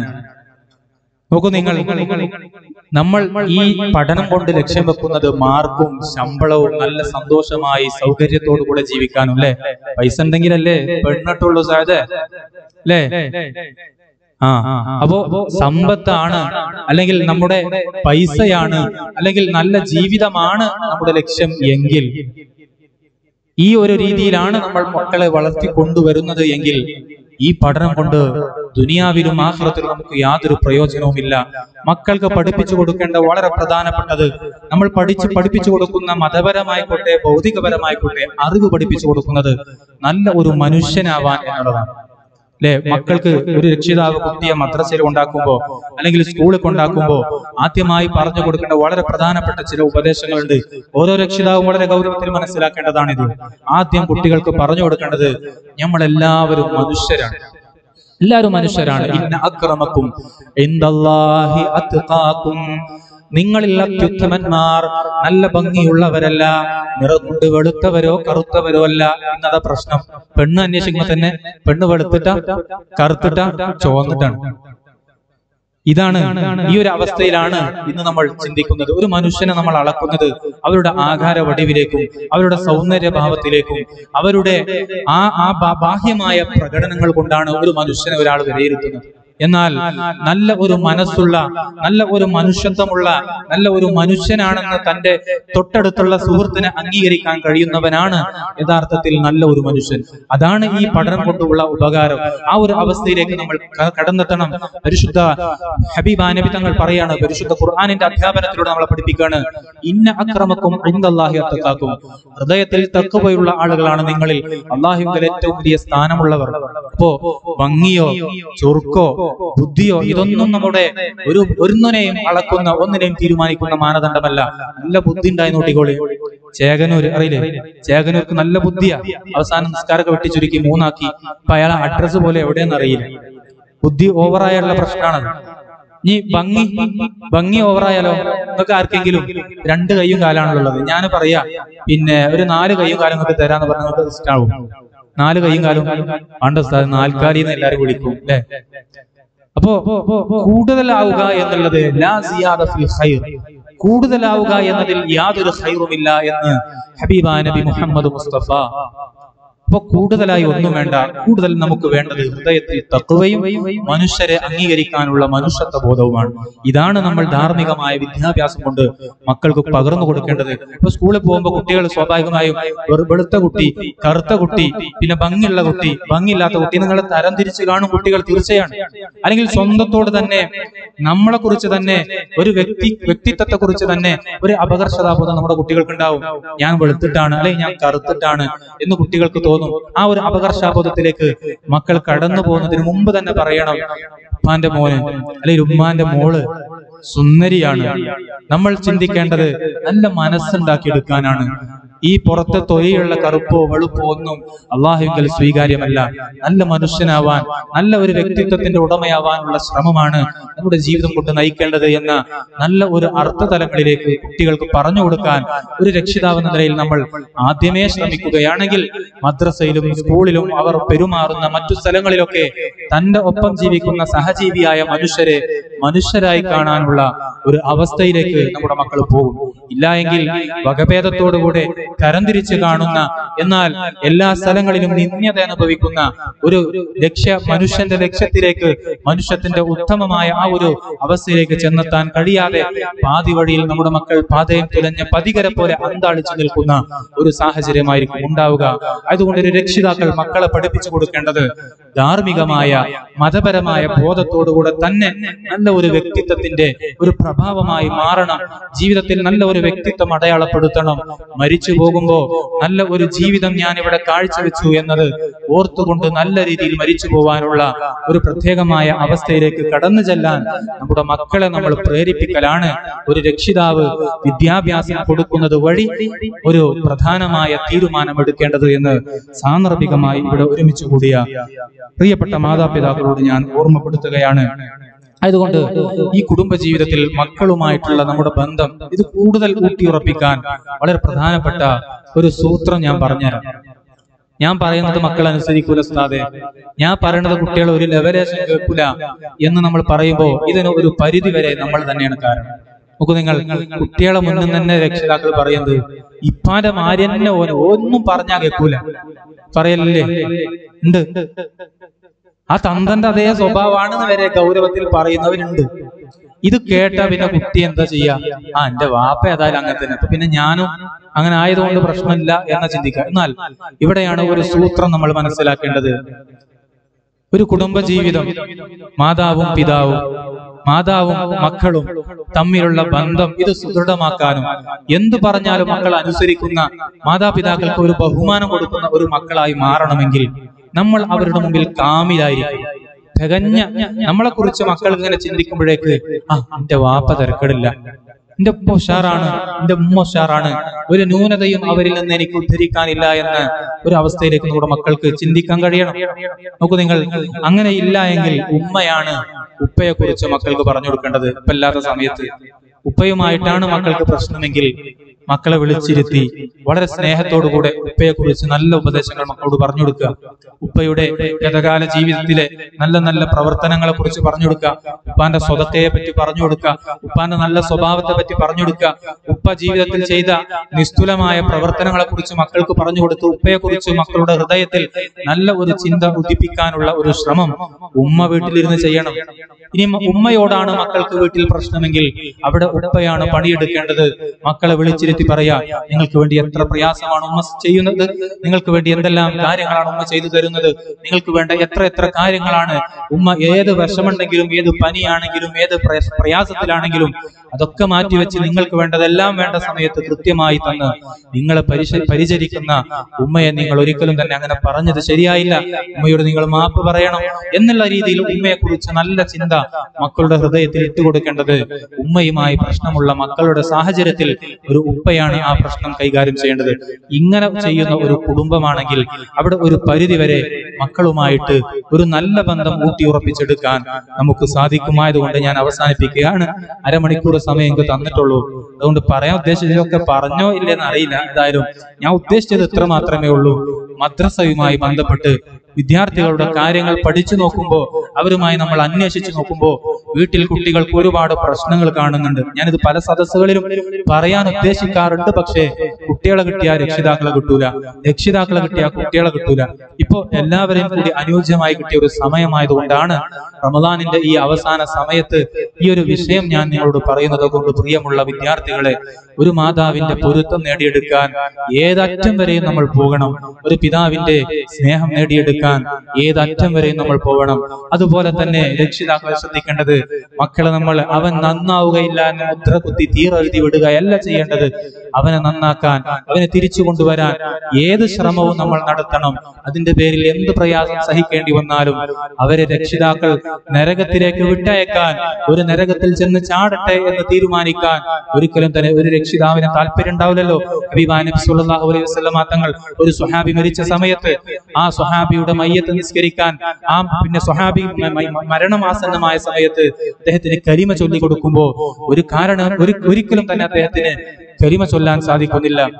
അപ്പോ ഈ വിവരം നബി അറിയിച്ചപ്പോ നബി തങ്ങൾ ചോദിച്ചു അദ്ദേഹത്തിന്റെ ജീവിച്ചിരിക്കുന്ന മാതാവോ പിതാവോ ഉണ്ടോ നബിയെ ഒരു മാതാവുണ്ട്. എന്നാൽ അവരെ കൊണ്ടുവരണം. ആ മാതാവിനോട് ചോദിച്ചു നിങ്ങളുടെ മകനുമായി ബന്ധപ്പെട്ട് നിങ്ങളുടെ പ്രശ്നം എന്താണ്? അപ്പൊ ഉമ്മ പറഞ്ഞു നബിയെ ഞാനും മകനുമായി അത്ര നല്ല ബന്ധത്തിലല്ല. ഒരു മാനസികമായ ഒരു വെറുപ്പ് ഒരു അകൽച്ചയുണ്ട്. എന്നാൽ നബി തങ്ങൾ പറഞ്ഞു നിങ്ങൾ നിങ്ങളുടെ മകന് നിങ്ങൾ പൊറത്തു കൊടുക്കണം. അവരോട് നിങ്ങൾ പൊരുത്തപ്പെട്ടു കൊടുക്കണം. അപ്പൊ ആ മാതാവ് പറഞ്ഞു ഇല്ല നബിയെ എനിക്ക് ആ കറ മനസ്സിൽ നിന്ന് മായ്ച്ചു കളയാൻ സാധിക്കുന്നില്ല. ആ ഒരു കറ ഇപ്പോഴും എന്റെ ഹൃദയത്തിൽ ഒരു തീക്കണലായി ഉണ്ട് എന്ന് പറഞ്ഞപ്പോ നബി തങ്ങൾ പറഞ്ഞു സ്വഹാബത്തിനോട് എന്നാൽ സ്വഹാബ നിങ്ങൾ ഒരു കാര്യം ചെയ്യും.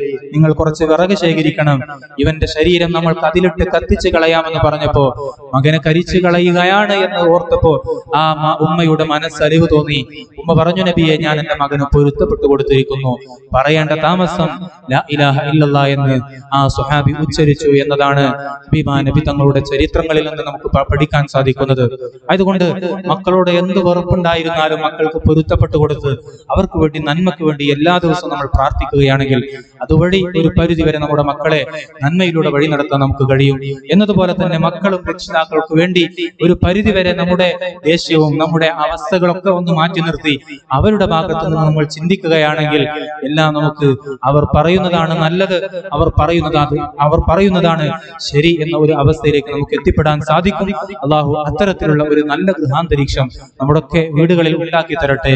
മാതാവിനെയും പിതാവിനെയും സ്നേഹിക്കാനും അവർക്ക് വേണ്ടതെല്ലാം ചെയ്തു കൊടുക്കാനും അവരുടെ പൊരുത്തം വാങ്ങി നാളെ സ്വർഗത്തിൽ പോകാനും അള്ളാഹു നമ്മളെ നല്ല ഒരു മക്കളാക്കി തരട്ടെ എന്നതുപോലെ തന്നെ മക്കളെ മക്കൾ കാരണം നാളെ സ്വർഗത്തിൽ നാളെ പരലോകത്തിൽ അഭിമാനിക്കുന്ന ഒരു അഭിമാനകരമായ ഒരു അവസ്ഥ നാളെ അള്ളാഹു താല എല്ലാ മനുഷ്യരും കൂടി നിൽക്കുന്ന സമയത്ത് അവിടെ ഈ മകനായ ഈ മകൻ എനിക്ക് ലഭിച്ചതിന്റെ പേരിൽ ഞാൻ വലിയ സന്തുഷ്ടനാണ് എന്ന് അഭിമാനം കൊള്ളുന്ന രക്ഷിതാക്കളുടെ കൂട്ടത്തിൽ നമ്മയും അള്ളാഹു ഉൾപ്പെടുത്തി അനുഗ്രഹിക്കട്ടെ.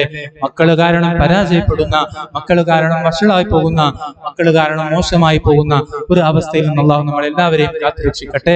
ആമീൻ. യാ റബ്ബൽ ആലമീൻ. ഒരു കാര്യം മാത്രം ഞാൻ പറയാ. മക്കൾക്കുണ്ടാകുന്ന ന്യൂനതകളെ ഓർത്ത് മക്കൾക്കുണ്ടാകുന്ന കുറവുകളെ ഓർത്ത് ഒരിക്കലും തന്നെ ഒരു രക്ഷിതാവും തരം താഴ്ത്തുകയോ ഒരു മകനേക്കാൾ മറ്റൊരു മകന് സ്ഥാനം നൽകുകയോ ഒരു മകളെക്കാൾ മറ്റൊരു മകളുടെ അവരുടെ മുമ്പിൽ വെച്ചുകൊണ്ട് തന്നെ നമ്മൾ ഉയർത്തിയോ താഴ്ത്തിയോ സംസാരിക്കുകയോ നമ്മൾ ചെയ്യരുത്. ഒരൊറ്റ സംഭവം ഞാൻ പറയാ. ഹൃദയഭേദകരമായ ഒരു കഥയാണിത്.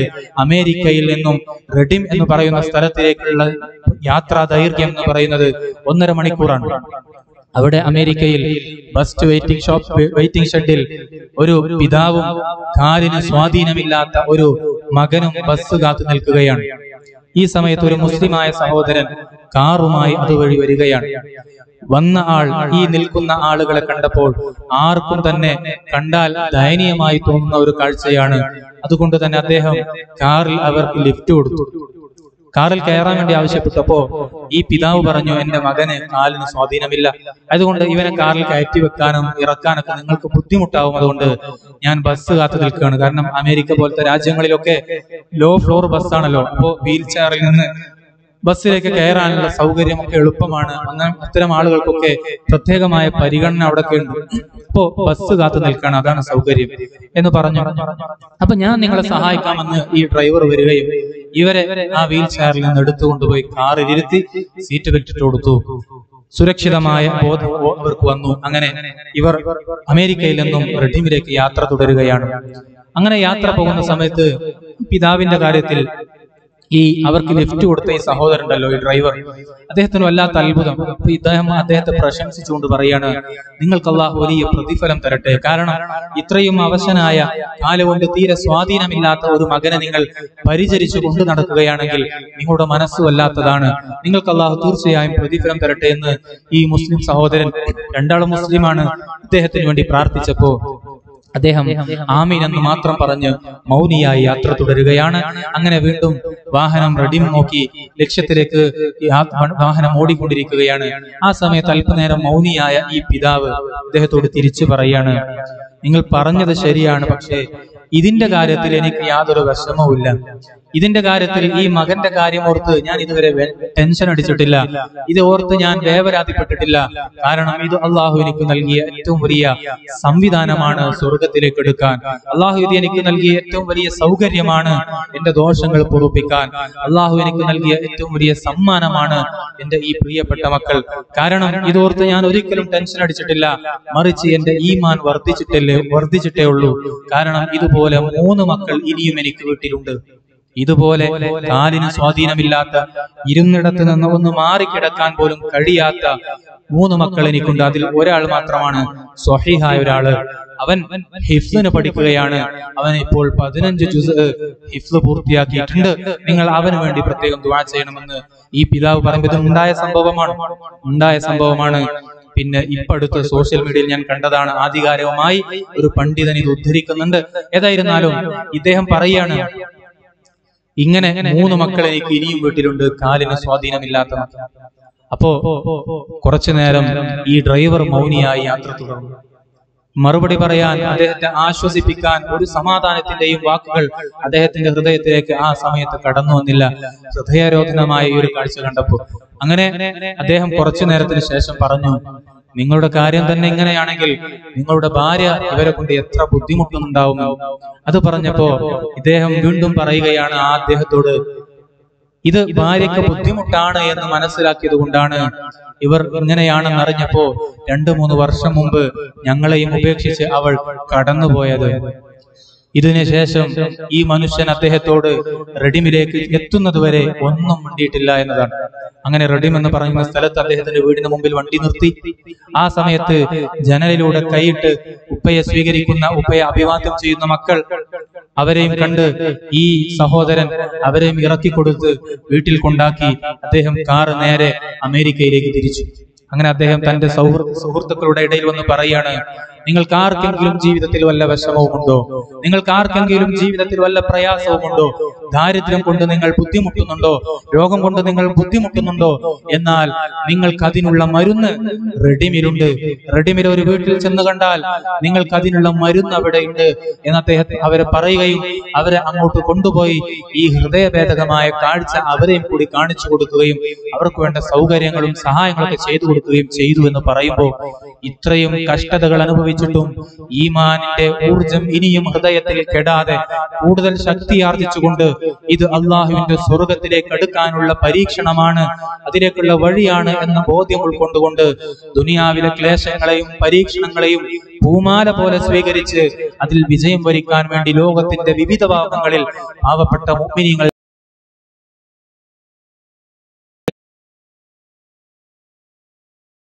നല്ല ബുദ്ധിയുണ്ട്. എന്നിട്ടും നമ്മൾ അവരുടെ കാര്യത്തിൽ പരാതിപ്പെടുകയും അവരുടെ കാര്യത്തിൽ നമുക്ക് വേണ്ട രീതിയിൽ ഉത്തരവാദിത്വമില്ലാതെ പോകുന്നുണ്ട് എങ്കിൽ ഓരോ രക്ഷിതാവും ശ്രദ്ധിക്കണം. എന്നിട്ട് ഈ സഹോദരൻ പറഞ്ഞൊരു കാര്യമുണ്ടത്രേ ഞാൻ ഏറ്റവും സന്തുഷ്ടനാണ്. കാരണം എനിക്ക് അള്ളാഹു നൽകിയത് ഏറ്റവും വലിയ അനുഗ്രഹമാണ്. കാരണം ഞാൻ അമേരിക്കയിലേക്ക് വന്നത് പാകിസ്ഥാനിൽ നിന്നാണ്. ഈ സ്ത്രീയെ വിവാഹം കഴിക്കാൻ വേണ്ടിയാണ് ഞാൻ അമേരിക്കയിൽ എത്തുന്നത് ഞാൻ ഇന്ന് ഈ കുട്ടികളുമായി പാകിസ്ഥാനിൽ കഴിയുകയാണെങ്കിൽ ഇത്രമേൽ സംവിധാനങ്ങളും എന്റെ മക്കൾക്ക് പഠിക്കാനുള്ള സ്കൂളും സ്കോളർഷിപ്പും ഒന്നും എനിക്ക് പാകിസ്ഥാനിൽ ലഭ്യമല്ല. എന്നാൽ അമേരിക്കയിൽ അതിനുള്ള എല്ലാ സൗകര്യങ്ങളും എന്റെ റബ്ബ് എനിക്ക് ഒരുക്കി തന്ന് എന്നെ അവൻ കൃത്യമായി ഇന്നും സഹായിക്കുന്നുണ്ട് എന്ന ഒരു പാഠം അദ്ദേഹം പറയുമ്പോൾ ആ ഒരു ഈമാനിന്റെ ഗൗരവവും ആ ഈമാനിന്റെ ഒരു കാഠിന്യവും നമ്മൾ മനസ്സിലാക്കണം. ആയതുകൊണ്ട് നമ്മുടെ മക്കളെ നല്ല രീതിയിൽ വളർത്തിക്കൊണ്ടുവരണം. അവരുടെ കാര്യത്തിൽ എന്ത് കുറവുണ്ടെങ്കിലും അതിനെ പരിഹരിക്കാനും അതിനെ മോശമായി ചിത്രീകരിച്ച് അവരെ മോശമാക്കി കാണിക്കാനുമുള്ള ഒരു ശ്രമമല്ല നമ്മൾ നടത്തേണ്ടത്. ആ ഒരു പരിഭവം അവർക്കില്ലാത്ത രീതിയിൽ